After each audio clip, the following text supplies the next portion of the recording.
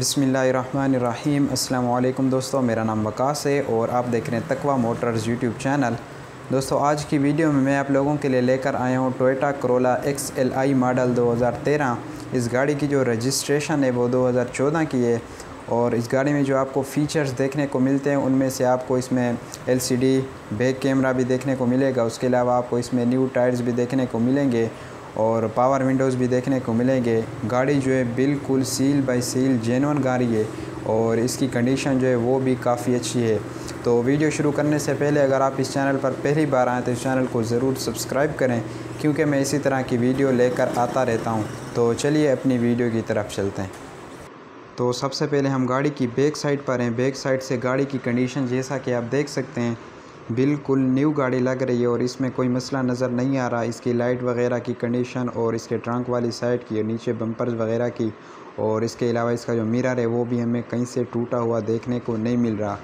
تو اس کے بعد ہم بات کر لیتے ہیں گاڑی کی لیفٹ سائڈ کی۔ تو لیفٹ سائڈ سے بھی گاڑی جو ہے بالکل نیو لگ رہی ہے۔ یہاں پہ بھی اس کی کنڈیشن میں کوئی مسئلہ نظر نہیں آ رہا۔ یہاں آپ اس کے ٹائرز وغیرہ کی کنڈیشن کو چیک کر سکتے ہیں اور یہاں آپ اس کی چھت وغیرہ اور او ایل آر اس کی جو اس کی سائڈیں نظر آ رہی ہیں، ان کو آپ دیکھ سکتے ہیں، بالکل نیو لگ رہی ہے۔ تو اس کے بعد ہم بات کر لیتے ہیں گاڑی کی رائٹ سائڈ کی۔ تو رائٹ سائڈ سے بھی گاڑی کی کنڈیشن جیسا کہ آپ دیکھ سکتے ہیں، بالکل نیو گاڑی لگ رہی ہے۔ اس کے میررز وغیرہ آپ دیکھ سکتے ہیں، اس کا سائڈ میرر جو ہے وہ بھی دیکھ سکتے ہیں۔ اس پر آپ کو انڈیکیٹر بھی دیکھنے کو ملے گا۔ اس کے علاوہ آپ اس کے ڈورز والی سائڈ بھی دیکھ سکتے ہیں۔ وہاں پر بھی ہمیں کوئی ایسا مسئلہ نظر نہیں آ رہا۔ اور آپ اس کے ٹائرز کی کنڈیشن بھی دیکھ سکتے ہیں۔ نیو ٹائرز اس میں لگائے گئے ہیں اور اس کے علاوہ آپ کو اس میں الائی ویلز، الائی ریمز دیکھنے کو تو نہیں ملیں گے، لیکن ٹائرز کے اوپر جو ہے کپ ہولڈرز دیکھنے کو مل جائیں گے۔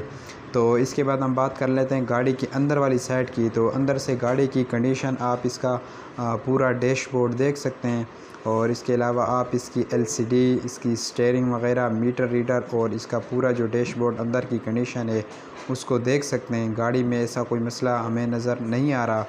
تو آپ اس کے بعد اس کے ڈورز والی سائڈ کو بھی چیک کر سکتے ہیں۔ یہاں پر بھی ڈورز کی کنڈیشن جو ہے اندر سے کافی اچھی دکھائی دے رہی ہے۔ گاڑی جو ہے بالکل جینون حالت میں سیل بائی سیل۔ تو آپ اس کے ڈورز کی کنڈیشن دیکھ سکتے ہیں۔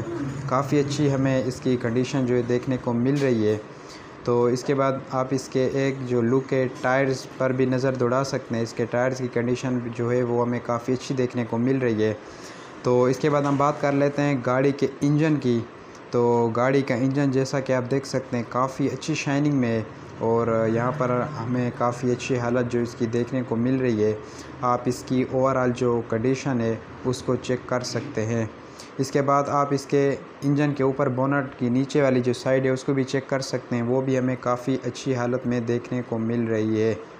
تو گاڑی کی کنڈیشن جیسا کہ آپ نے دیکھ لی، گاڑی ہمیں کافی اچھی کنڈیشن میں دیکھنے کو مل رہی تھی۔ تو اس گاڑی کی ڈیٹیل کی بات کر لیتے ہیں تو اس گاڑی کا جو ماڈل ہے وہ دو ہزار تیرہ ہے اور رجسٹریشن جو ہے اس کی دو ہزار چودہ میں کی گئی ہے اور اس کے رجسٹریشن ملتان سٹی کی ہے۔ یہ گاڑی فرسٹ آنر کے پاس ہے۔ آپ کو اس میں L C D back camera بھی دیکھنے کو ملا، پاور میررز بھی دیکھنے کو ملے۔ اس کے علاوہ آپ کو اس میں نیو ٹائرز بھی دیکھنے کو ملے ہیں۔